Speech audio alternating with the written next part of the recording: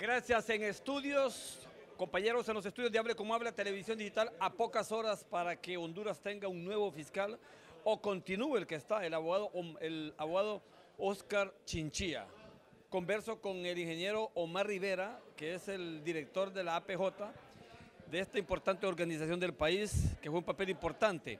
Eh, ingeniero Omar Rivera, a pocas horas para que Honduras tenga un nuevo fiscal en el Congreso Nacional, lógicamente, o si el que está. ¿Cuál es su opinión, su percepción sobre este acontecimiento de trascendencia nacional? Bueno, mire, aquí, Ernesto, lo más importante es que los partidos políticos puedan consolidar la unidad interna para que puedan avanzar en el proceso de intentar un consenso en torno al nuevo fiscal general de la República. Para eso se necesita mayoría calificada, misma que desde hace algún tiempo no se consigue en el Congreso Nacional especialmente después de la crisis postelectoral.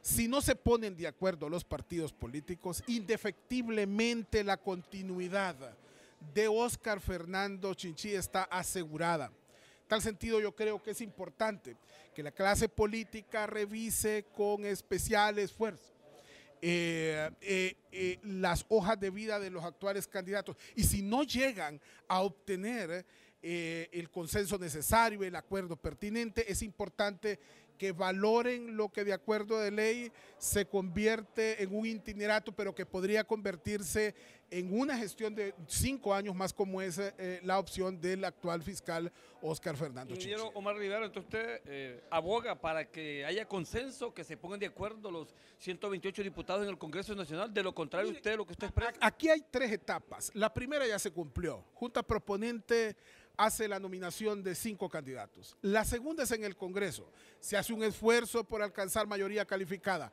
Si no se logra esa mayoría calificada, indefectiblemente ya la ley del Congreso lo establece. El actual fiscal tiene que quedarse, pero para ratificar esa voluntad de que darle continuidad a la gestión de Oscar Fernando Chinchilla, se tendrían que buscar los acuerdos para que él quede en propiedad.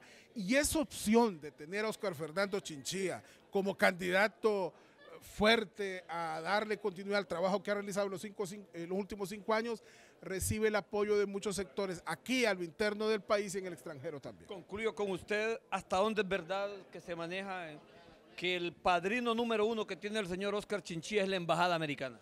Mire, lo que yo estoy convencido es que el trabajo de Oscar Fernando Chinchilla ha tenido un impacto positivo en el país y en el extranjero.